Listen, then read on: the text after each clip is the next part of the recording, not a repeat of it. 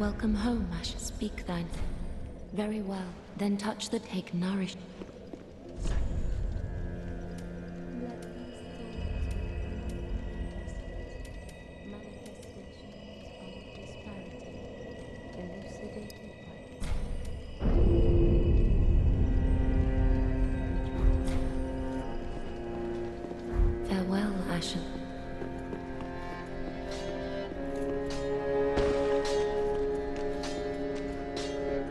Back again, I see.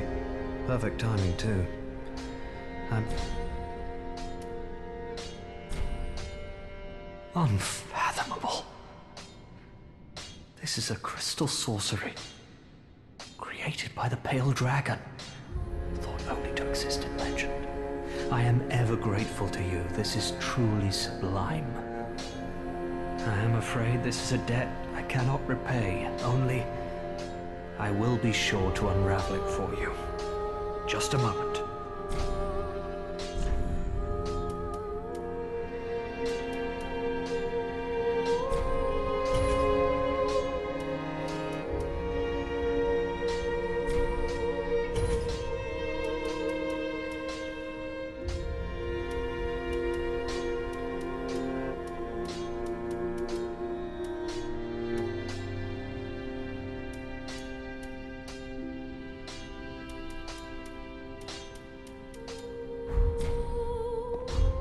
Stay safe.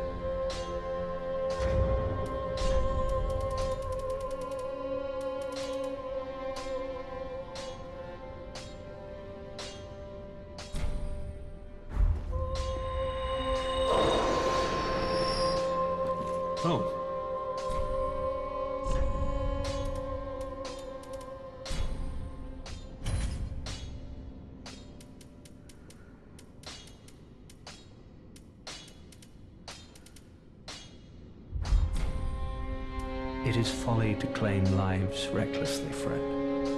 Do not be tempted. No matter the victim's stature, every killing has a consequence. Even as I bloodied my hands, I never realized the simple truth. There I was, the very definition of a fool. Oh, I have something for you. You're a fine sorcerer now. No mistake. You should have something to prove it. Go on. If I'm giving something away, you'd better well take it. How do you like gimmicks, friend? This is a sign, a cipher, employed by sorcerers who use quietude to their advantage.